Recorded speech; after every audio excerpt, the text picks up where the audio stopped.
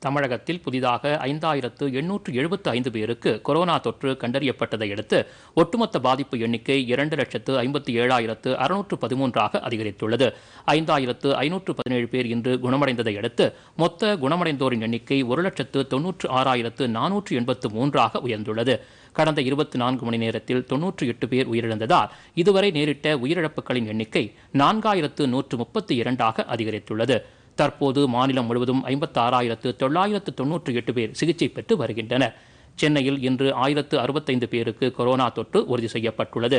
செங்கல்பட்டில் நானூற்று நாற்பத்தாறு பேருக்கும் திருவள்ளூரில் முன்னூற்று பதினேழு பேருக்கும் காஞ்சிபுரத்தில் முன்னூற்று தொன்னூற்று மூன்று பேருக்கும் இன்று தொற்று உறுதி செய்யப்பட்டுள்ளது.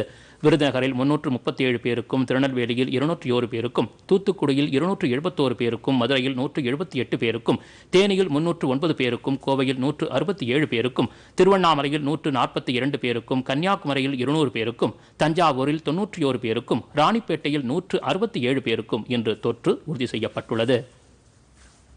புதிய செய்திகளை யூடியூபில் தமிழ் நியூஸ் தூர்தர்ஷன் என்ற சேனலிலும் முகநூலில் டிடி பொதிகை நியூஸ் என்ற பக்கத்திலும் ட்விட்டரில் டிடி நியூஸ் சென்னை என்ற பக்கத்திலும் இன்ஸ்டாகிராமில் டிடி பொதிகை நியூஸ் என்ற பக்கத்திலும் காணலாம். மேலும் உங்கள் கருத்துக்களை Podhigai DD news at Gmail dot com என்ற மின்னஞ்சலில் தெரிவிக்கலாம்.